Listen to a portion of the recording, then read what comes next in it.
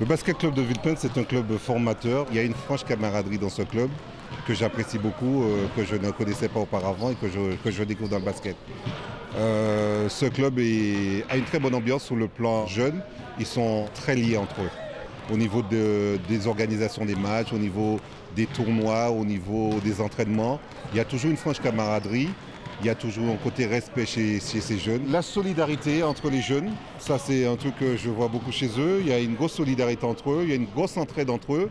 Ce que j'apprécie chez eux, c'est la non-violence cette non-violence. Depuis que je suis là, je n'ai jamais vu une bagarre sur le terrain, je n'ai jamais vu un mot qui déplaçait l'autre. C'est merveilleux de voir ce sport de contact sur une si petite surface où les joueurs ont un tel respect, un tel respect, une telle solidarité, même au niveau de l'arbitrage. Il y a un respect total et j'apprécie. Je me bats pour récupérer beaucoup des gamins de, la commune parce qu'effectivement, on tient absolument faire d'abord la place aux jeunes Villepin 3. Mon petit regret, effectivement, c'est de n'avoir pas un deuxième gymnase pour prendre beaucoup plus. Au jour d'aujourd'hui, nous avons que 170 licenciés.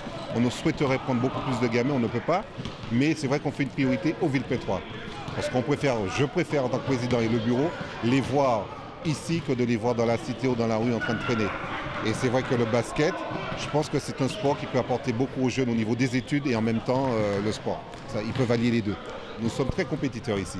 Les jeunes qui sont chez nous au jour d'aujourd'hui sont là dans l'esprit de compétition, d'évoluer, de progresser de monter. Niveau le plus haut, c'est les seniors qui l'ont octroyé cette année puisqu'ils sont montés en promotion excellence régionale à deux divisions en dessous de la nationale 3 fédérale. Et puis en jeunes, nous sommes au niveau départemental, le niveau le plus haut. C'est-à-dire tous jeunes, nos jeunes évoluent au niveau première division. On ne veut pas aller plus vite que la musique non plus, hein, parce qu'il y a quand même un frère à côté, un grand frère à côté.